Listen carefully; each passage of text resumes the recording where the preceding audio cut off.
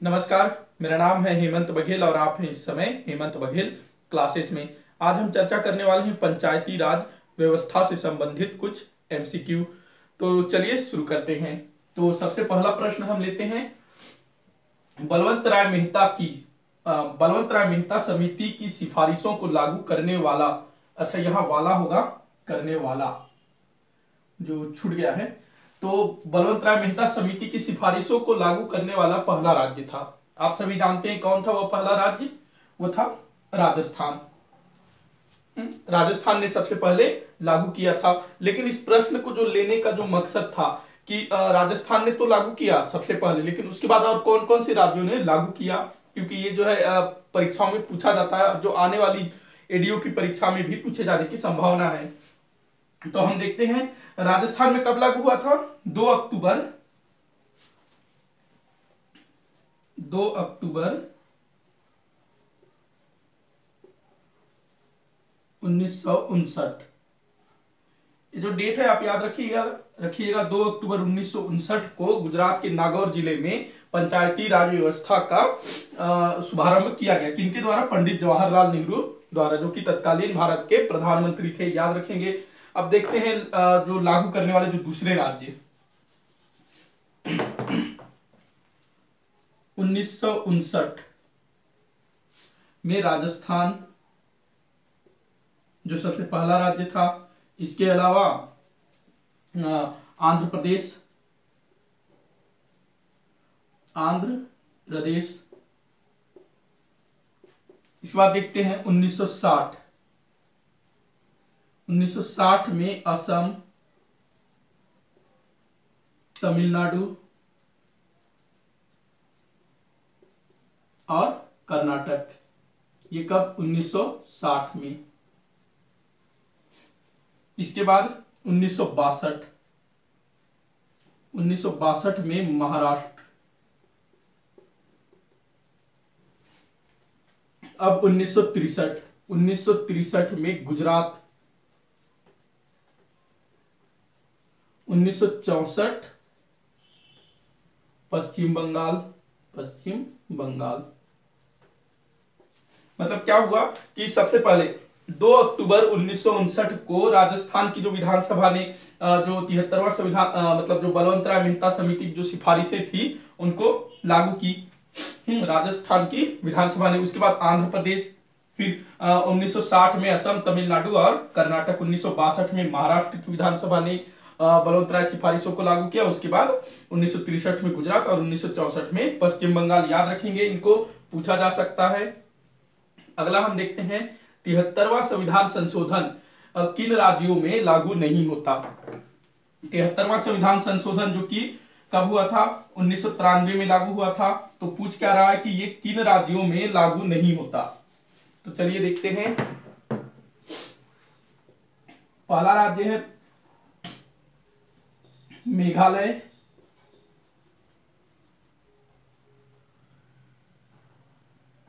मिजोरम।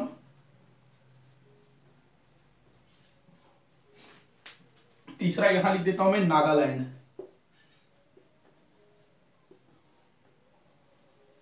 हम्म, तो ये तीन राज्यों में मेघालय मिजोरम और नागालैंड में जो तिहत्तरवा संविधान संशोधन अधिनियम था वो लागू नहीं होता है। यहाँ जो है आ, क्या लागू होता है? जनजातीय परिषदें जो पंचायतों के स्थान पर जनजातीय परिषदें कार्य करती है। जनजातीय परिषद। बाकी जगह क्या काम करती है? ग्राम पंचायत लेकिन इन तीन राज्यों में मेघालय मिजोरम और नागालैंड। यहाँ क्या काम करती है? मतलब पंचायतों के स्थान पर जनजातीय परिषद। इनके मतलब अपने अलग नियम होते हैं।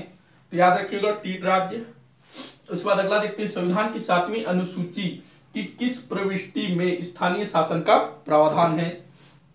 तो देखिए जो स्थानीय शासन है अर्थात की जो पंचायती राज व्यवस्था हम्म, और नगरीय निकाय इन दोनों को क्या कहा जाता है? स्थानीय शासन। हम्म, तो पूछ क्या रहा है कि संविधान की सातवीं अनुसूची कि किस प्रविष्टि में स्थानीय शासन का प्रावधान है? क्योंकि आप लोगों को पता ही है कि जो सातवीं अनुसूची सातवीं अनुसूची में शक्तियों का विभाजन है कि केंद्र के पास कौन सी शक्ति होगी, राज्य के पास कौन सी शक्ति होगी?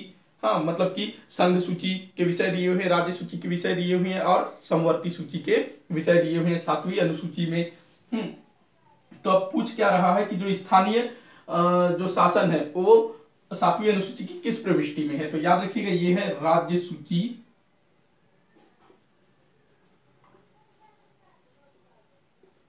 राज्य सूची की पांचवी प्रविष्टि।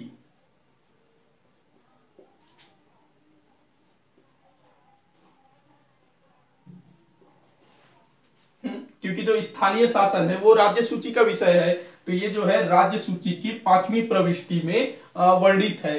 हम्म, स्थानीय शासन जो पंचायत पंचायती राज व्यवस्था है वो राज्य सूची की पांचवी प्रविष्टि में वर्णित है। याद रखेंगे अगला देखते हैं मध्य प्रदेश में तिहत्तरवा संविधान संशोधन अधिनियम कब लागू हुआ? जो तिहत्तरवा संविधान संशोधन है, उसे लागू करने वाला पहला राज्य कौन था? मध्य प्रदेश। तो कब लागू किया था? 25 जनवरी उन्नीस 25 जनवरी उन्नीस सौ चौरानवे को तिहत्तरवा संविधान संशोधन अधिनियम को मध्य प्रदेश विधानसभा द्वारा लागू किया गया, याद रखेंगे। और ये जो मध्य प्रदेश के साथ साथ छत्तीसगढ़ में भी लागू हुआ था अगला देखते हैं हम स्थानापन सरपंच का कार्यकाल कितनी अवधि का होता है? देखिए स्थानापन सरपंच कौन होता है? जब मान लीजिए सरपंच का जो पद है अचानक से आ, मतलब आकस्मिक रूप से रिक्त हो जाए अचानक से जैसे मान लो कि सरपंच की मृत्यु हो गई अथवा सरपंच को जो है जनता द्वारा रिकॉल के ज़रिए वापस बुला लिया गया अथवा सरपंच के विरुद्ध जो है अविश्वास प्रस्ताव पारित हो गया अथवा सरपंच को निलंबित कर दिया गया हो तो ऐसी परिस्थितियों में सरपंच का पद रिक्त हो जाता है। तो उसमें क्या किया जाता है? पंद्रह दिन के भीतर जो है स्थानापन सरपंच को नियुक्त किया जाता है, या चुना जाता है। स्थानापन सरपंच को चुना जाता है। स्थानापन सरपंच जो है पंच अपने में से ही मतलब पंच जो है अपने में से ही किसी एक पंच को स्थानापन सरपंच के रूप में चुनते हैं, जो कि सरपंच के रूप में काम करेगा। और ये कितने दिन के अंदर कर लेना चाहिए? जब मान लो सरपंच का पद, सरपंच जो है, का पद जिस दिन से खाली हो जाता है, जिस तिथि से, उस तिथि के पंद्रह दिन के अंदर अंदर ये स्थानापन्न सरपंच को चुन लिया जाना अनिवार्य है। अब पूछ रहा है कि इसका कार्यकाल तो इसका कार्यकाल होता है आगामी उप निर्वाचन तक।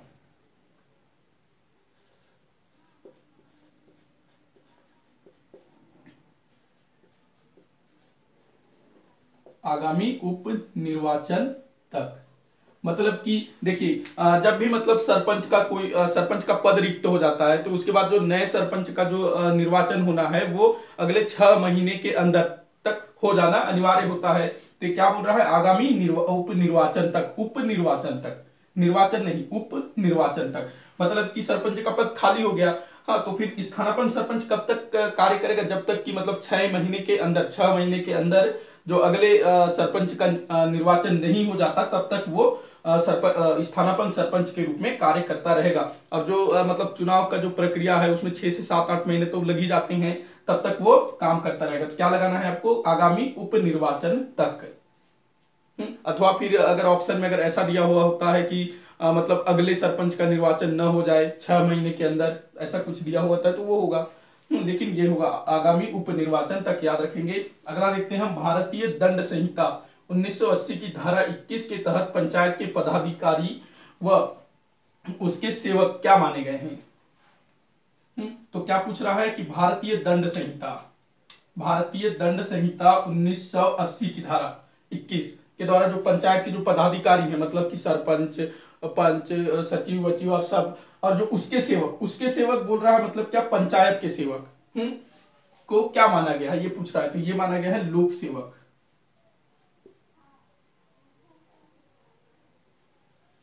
लोक सेवक। लोक सेवक माना गया है, जो भी मतलब पंचायत के पदाधिकारी होंगे। अगला देखते हैं हम। कोई व्यक्ति पंचायतों के अभिलेखों का निरीक्षण करना चाहे तो प्रथम घंटे हेतु कितना शुल्क देना होगा? हम्म, मतलब कि कोई व्यक्ति हम्म, पंचायत के जो भी अभिलेख है उनका निरीक्षण करना चाहता है तो उसके लिए उसको मतलब पहले घंटे के लिए कितना शुल्क देना होगा? ये पूछ रहा है तो उसको देना होगा दो रुपए। पहले घंटे हेतु। यहाँ एक चीज़ ध्यान दीजिएगा कि जो दो रुपए शुल्क देगा वो सभी अभिलेखों के निरीक्षण में मतलब लागू नहीं होता। मतलब कुछ जो अभिलेख ऐसे होते हैं जिनके निरीक्षण जिनका निरीक्षण निशुल्क किया जा सकता है। तो वो कौन कौन से विषय हैं, अभिलेख हैं, वो देख लेते हैं हम। पहला बजट। बजट। उसके बाद है वार्षिक लेखा। जो भी मतलब इनके लेखे होंगे, वो वार्षिक लेखे। इसके बाद है, कर निर्धारण। कर निर्धारण। इसके बाद आ जाएगा जन्म मृत्यु। जन्म, मृत्यु, आवासहीन कार्यवाही, पंजी। और आखिरी है, वार्षिक कार्य योजना।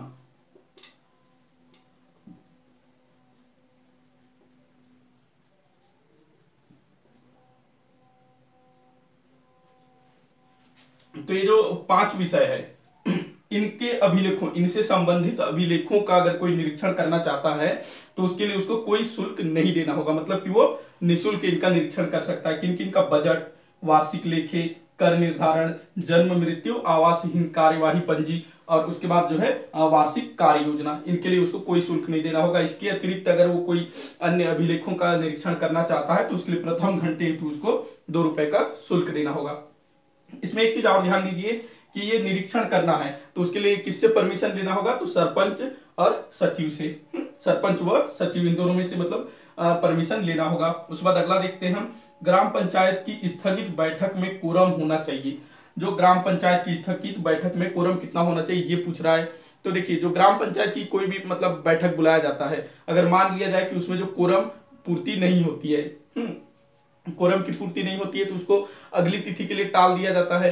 फिर अगली तिथि को जो बैठक होगी, उसको क्या बोलेंगे? स्थगित बैठक।